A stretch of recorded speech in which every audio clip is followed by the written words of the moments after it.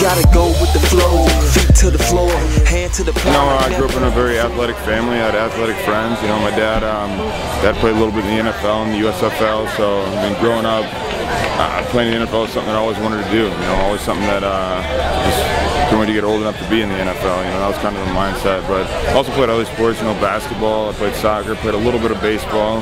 But uh, yeah, primarily, I mean, it was always really competitive between me and my friends, and um, you know, so it paid off. I'd like to think I'm probably one of the best FIFA players ever, but no, uh, no, I play a little bit of FIFA with uh, with the fellas. It's like my best team, I, I probably Real Madrid. You know, Madrid. Um, I'll play with uh, Tottenham every now and then. Internationally, I like Brazil or Portugal, and then um, sometimes I'll online I'll mix it up and I'll play with, uh, with Santos.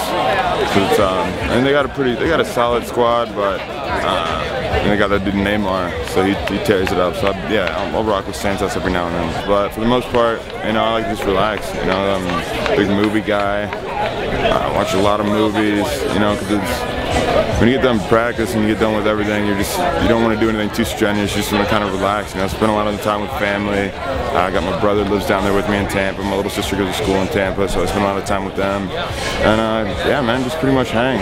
I mean, I'm a Midwest guy, and I really like steak, but going over to um, the East Coast, the seafood I mean, steps it up a notch. You know, so I don't know, big lobster. I like lobster a lot. Lobster, and steak and lobster. You know, got to got to say steak and lobster. 2 a.m. I got a nice little uh, nice little granola bar stash. You know, I don't go don't get too crazy. That's where you get in trouble. Get in trouble uh, with that fourth meal. Taco Bell. never keep it to stop. University, you counting on God. Now you looking back like